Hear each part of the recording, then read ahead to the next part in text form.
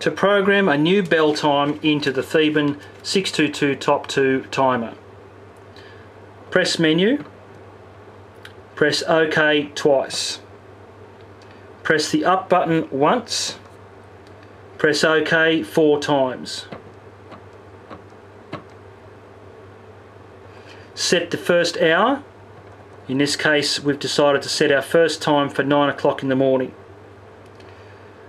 Press OK. The minutes are already OK, and so are the seconds. OK. Now we need to set the pulse length, which is the amount of time the bell rings for, which in most cases is 10 seconds. We don't want to set it for minutes, so press it to seconds, and then select 10 seconds.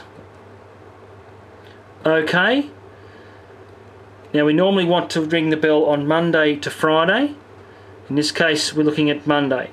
So we hit OK for Monday and then if we wish to ring it on more than one day we hit copy. And then add Tuesday, add Wednesday, add Thursday, add Friday.